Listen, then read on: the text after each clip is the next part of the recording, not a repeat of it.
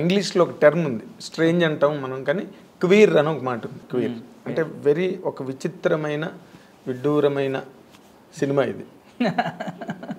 ఇది ఎందుకంటే రెండు ఏజ్ గ్రూపులను కలిపి నువ్వు అది చేయడం. అందులో అసలు ఏమనుకుంటాడో I don't think now Naveen Polishetty.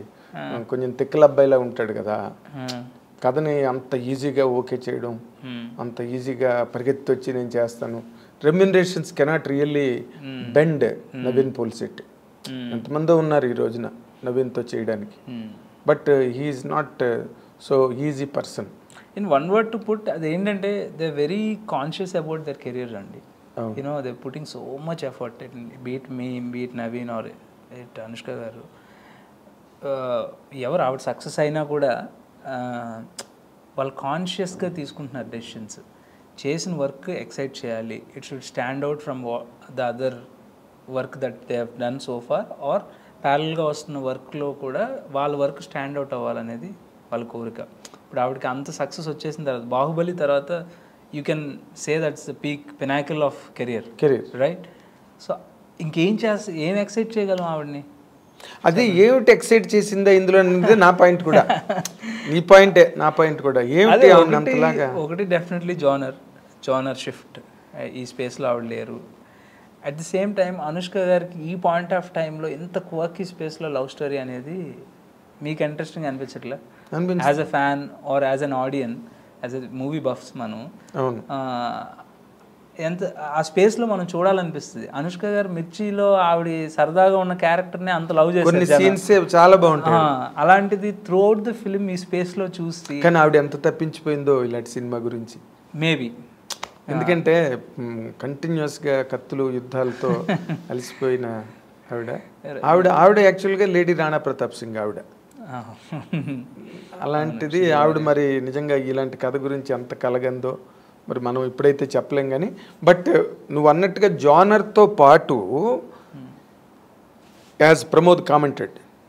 ఇప్పుడు ఒక పాపులర్ స్టార్ లైక్ అనుష్క ఒక క్యారెక్టర్ చేసినదంటే రెండు కళ్ళు ఇరవై కళ్ళు అయి చూస్తాయి సినిమాని.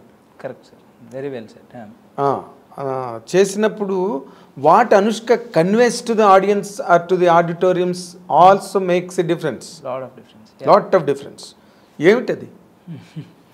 అదే అది సెవెంత్ చూడండి. అది నేను చెప్తే నేను చెప్పేస్తాను. నో నో నువ్వు చెప్పొద్దు. నేను ఇలాగుంటుందండి ఆవిడ వేమన శతకాలు చెప్తారు సినిమాలో. లేకపోతే సుమతి శతకం పద్యాలు నేర్పుతారు. ఇలా చెప్పమని నేను అడగట్లా. బట్ వాట్ ఫైనలీ ఎండ్ ప్రోడక్ట్గా మనం మాట్లాడుకోవాలి సినిమా థియేటర్ నుంచి బయటకు వచ్చాం బయటకు వచ్చిన తర్వాత అనుష్క క్యారెక్టర్ని ఎలా గుర్తుపెట్టుకుంటాం. అనుష్క గారి క్యారెక్టర్ డెఫినెట్ గుర్తుంటుంది. ఎలా? అంటే అంటే ఎలా అంటే పాజిటివ్ సెన్స్లో నెగిటివ్ సెన్స్లో అలా అంటున్నారా? పాజిటివ్ అవు నెగిటివ్ అవు ఆవిడ సినిమాలో దొంగ అవ్వచ్చు.